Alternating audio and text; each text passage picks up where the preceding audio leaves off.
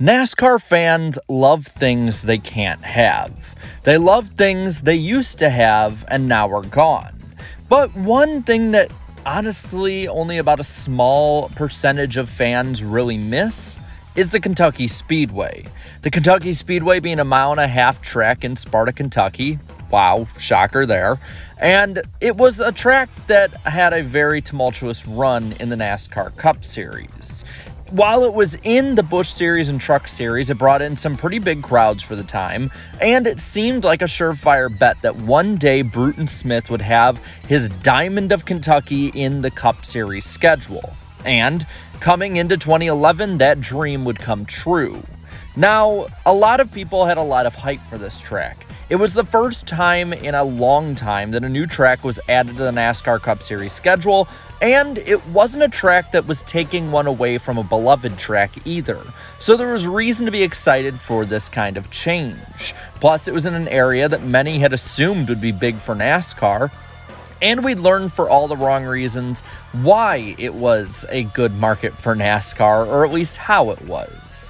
Let's look at that 2011 race. Now, I have a whole video on this ordeal, but overall, the race was mediocre at best. It was nothing special. Kyle Busch dominated the night, and with that, you had basically a 5 out of 10 race to start out its tenure.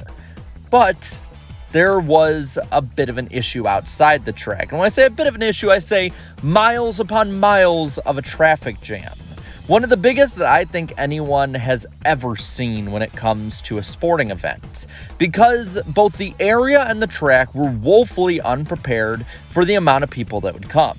You see, the Kentucky Speedway would hold over 115,000 fans. To put that in perspective, that was about the same amount that were showing up to the Daytona Summer Race at the time, and it was, say, about a little under what Bristol currently holds.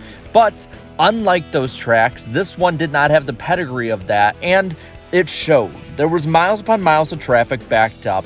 It was to the point that thousands couldn't even see the track by the end of the race and decided screw it and just turned around and went home. To this day, it was one of the biggest black eyes the sport has ever seen, as beforehand, Bruton Smith would be famously shown to have said that it would be bigger than Daytona on NASCAR race day right before. It was bigger, all right, a bigger controversy. Now, we talked about the racing a little bit before, and I think that's the second reason why this track fell.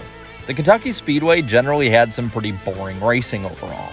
Generally, the track had long, drawn out runs, and there wasn't too much passing once those dominant cars got out front. You saw this especially in 2012, the second year of the event, as well as the first year, and you'd see it throughout, even if there was strategy. This only got worse with the reconfiguration and then the 550 package for the most part. We'll talk about what was good when it came to that a little later. But overall, the racing was nothing special, so fans quickly fell away from supporting the track. The third big reason why this track isn't around anymore, I think, is because of the visibility of it. And not the sight lines or anything like that, but how many were watching and the money that went into it. You see, this track had pretty bad viewership. Attendance was good at first, but then fell as well. And while it's hard to look at the attendance past about 2013 because official numbers didn't come out anymore, it is pretty evident that it went down based on estimates. The first race at the track had an estimated 107,000 people buy tickets for it, with almost 5 million viewers. Just a tick off what TNT was getting at the time, but nothing too major.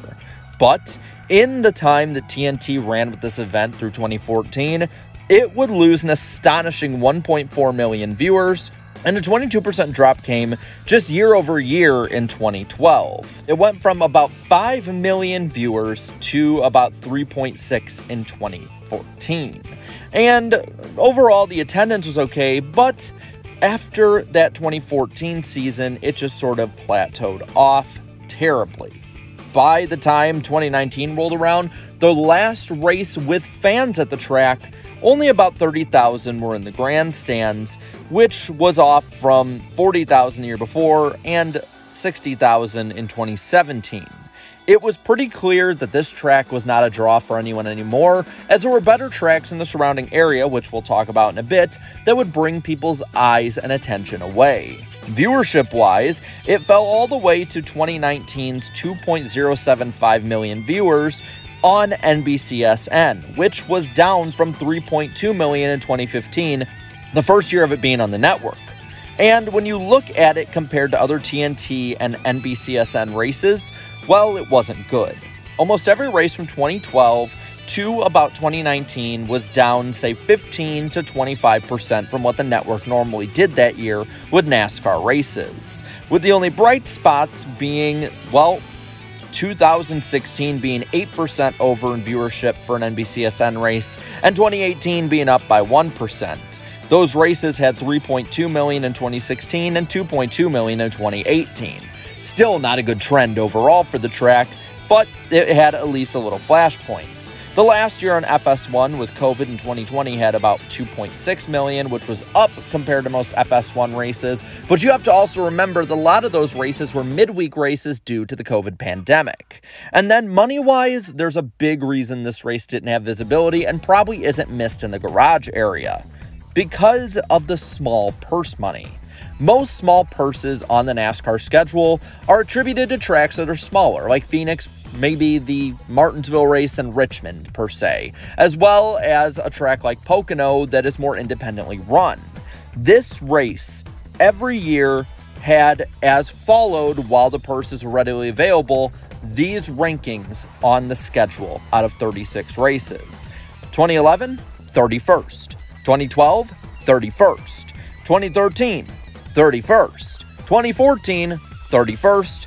And in 2015, the last year that these purses are readily available to find, it had a staggering 31st place on the NASCAR schedule out of 36 races. Compare that to other tracks that have left, say like Chicagoland, and Chicagoland's purse was generally about a million dollars more than the Kentucky Speedway.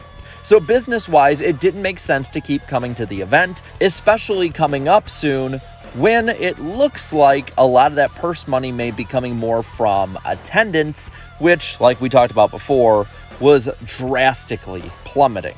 Now, I briefly mentioned location earlier, and that is the fourth reason why this race is no longer a race on the NASCAR schedule.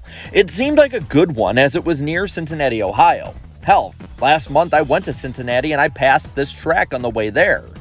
But there was a bit of a miscalculation here. This location was close to plenty of other major tracks. Six with today's schedule and one other that is off the schedule. There is Bristol and Nashville Superspeedway. Both are 241 miles from the track within a driving distance. The fairgrounds, 235 miles away. Chicago 317, and Gateway 316, and Indianapolis, which, while having bad attendance percentage wise, still brought in pretty good crowds at 138 miles away. And just under 300 miles away was the Chicagoland Speedway at the time. There were plenty of other tracks that had bigger draws that were nearby it, and that ultimately hurt it with the attendance. So, then what else do you have to give a reason why? Because attendance isn't only the reason why this track is gone now. They could have just brought it back when the time was right. The fifth and final reason is that NASCAR as a culture has passed it by. SMI is going after other bigger markets. The one that I look at is COTA, which goes after Austin, Texas, and NASCAR overall is going after everything but mile and a half tracks nowadays, as they have the least amount of mile and a halves in the schedule in at least 20 years. Could it come back? Yes, it could probably come back one day. Locals seem to want it back, and it has seemed to be kept up on, but it is a very small amount of people that want it compared to tracks like the Nashville Fairgrounds, Rockingham, and even Chicagoland. It had two great finishes to end it off, which is really what's keeping it going, I think, in a lot of fans' eyes. In 2019, you had the Busch Brother battle, and in 2020, you had Cole Custer's surprise win that, I'll be honest, nobody saw coming. But other than that, what's the most famous thing people remember from this track? Bad traffic and a truck on fire. And that's the big issue with Kentucky. It really had no identity, at least with the broader NASCAR fan base, and because of that, it's been left by the wayside. But with that, I'm going to pass this on to you. What do you think of the Kentucky Speedway? Do you want it back? Do you not? Are you glad it's gone? What do you think? Let me know down in the comments below. While you're at it, leave a like on this video, share this video, and subscribe to this channel for more great NASCAR content. Thank you so much to all my channel members for your continued support, and until next time, have a good one.